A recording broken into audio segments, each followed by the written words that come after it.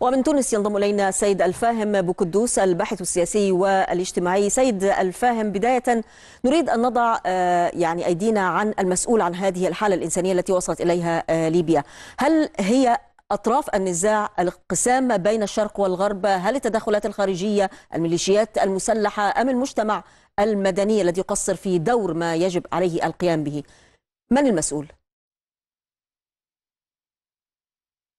هو بالتأكيد المسؤول الرئيسي عن هذا الوضع الصحي والخدمات في ليبيا الغنية مفترض بالنفط أساسا.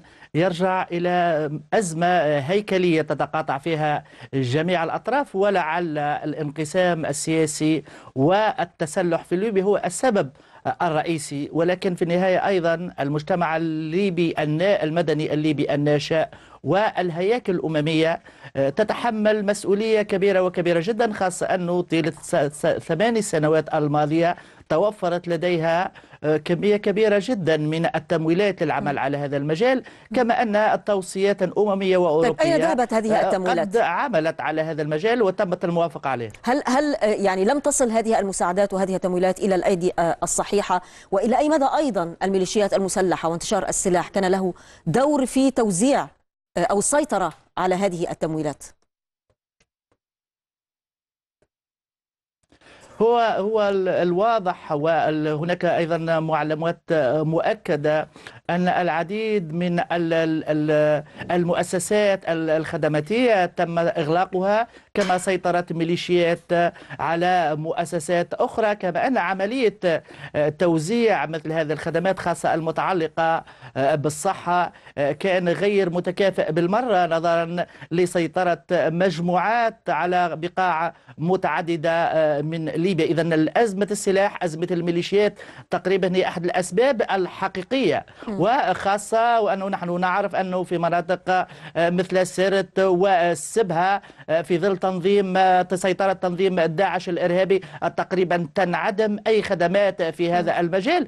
كما أن الحرب الأهلية بالظفرين القائمة في طرابلس في ظل سيطرة الميليشيات حقيقة يمنع المئات الألاف من الأطفال أو من الفتيات أو والنساء وأيضا من المهاجرين والنازحين من تلقي مثل هذه طيب ما الذي يضمن أن لا تتعرض ما تقوم به الأمم المتحدة الآن من دعوة الدول المانحة لتوفير 202 مليون دولار خلال عام 2019 إلى ليبيا بأن لا يتكرر السيناريو مرة أخرى هل هذه المرة هناك ضمانات أو آليات لكي تصل هذه المساعدات إلى الأيدي الصحيحة؟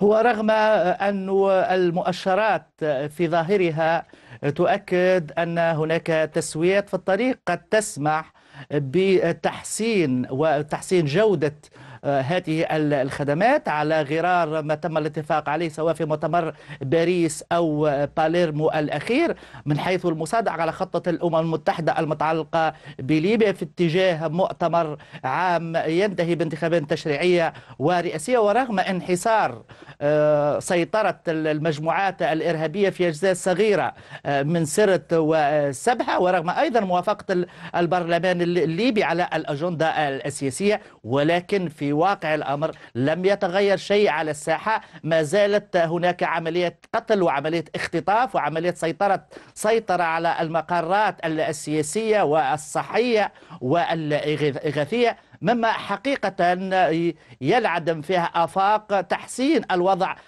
الخدمات في ليبيا ويجعل المبادرات الإنسانية سواء الأممية أو الأوروبية حبرا على على ورق. ويبدو أن الدول الجوار وخاصة تونس ومصر قد تلعب دورا أهم وأشد بحكم علاقاتها مع العديد الفاعلين السياسيين والعسكريين في ليبيا. طيب كيف تقيم دور منظمات المجتمع المدني؟ في ليبيا. هل بالفعل تقوم بدور فاعل في ذلك المجال أم أنها تحتاج إلى المزيد من الدفع؟ ومن الذي ربما يشرف على هذه المسألة؟ يعني إدخال هيئات المجتمع الدولي في دمج مع الجهود سواء الجهود الخارجية أو الجهود الداخلية.